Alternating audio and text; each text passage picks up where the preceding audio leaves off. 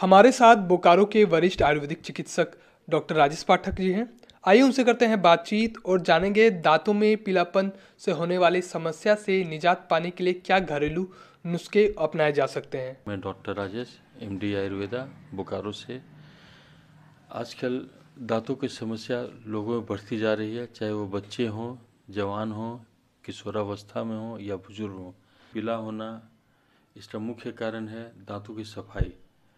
आजकल बच्चे चॉकलेट बहुत खा रहे हैं, फास्ट फ़ूड बहुत खा रहे हैं, जिससे दांत की कमज़ोरी बढ़ती जा रही है, इनामिल घिसता जा रहा है और उस दांत पीला हो जाता है।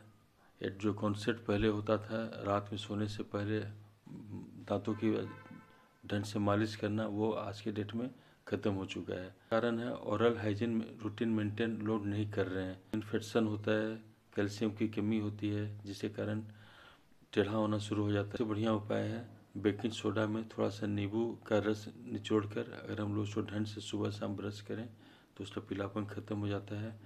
आजकल लोग गुटखा वगैरह ज़्यादा खाते हैं, उसके कारण दांत पीला होता है, कैल्शियम की कमी होती है।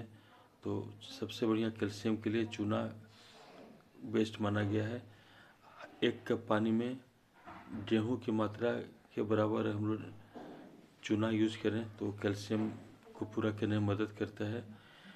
इस और इसका घरेलू उपाय है, नीम का छाल, लौंग, बबूल का छाल और आपका लौंग, ये सब मिला के हम लोग अगर बारीकी पाउडर बनाकर सुबह शाम अगर दांत को, की मालिश करें तो इसमें बहुत ही अच्छा है।